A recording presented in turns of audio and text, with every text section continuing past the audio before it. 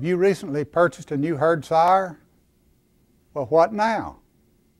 First thing we need to do is to isolate this animal when it's first brought on the farm. Uh, hopefully it's been vaccinated and it's not going to be bringing any diseases on the farm, but it's just good practice to bring an animal in, have it isolated about 30 days to be sure that uh, we don't have any major health problems.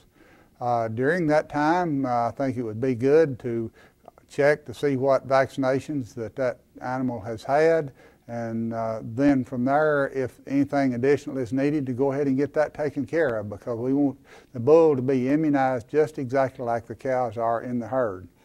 Uh, next thing we need to take into consideration is what uh, is the condition of the bull. Is he fleshy or is he relatively thin? And uh, from there, then we'd be needing to make adjustments uh, in the feeding program. If he's in good thrifty condition, we just need to keep him growing and, and have him uh, kind of moving along, feeding maybe one, one and a half percent of body weight in grain so that uh, we have him in good shape when he gets ready to go out in the breeding season. We do know that once he does get out the cows, he's going to be losing weight, so we need to take that into consideration before he's turned out.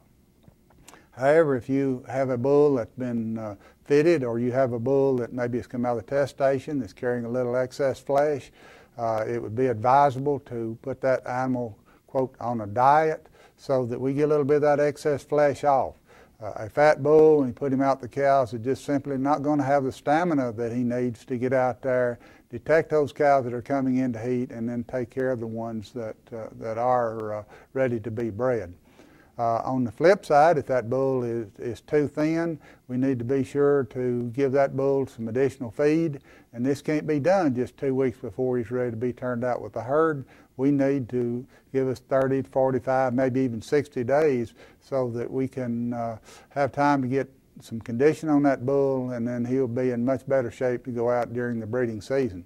If he's too thin, he's not going to have the stamina, but uh, another consideration is if he doesn't receive adequate nutrition, he may not be producing enough sperm so that he's going to be as fertile as he needs to be once we turn him out with the cows.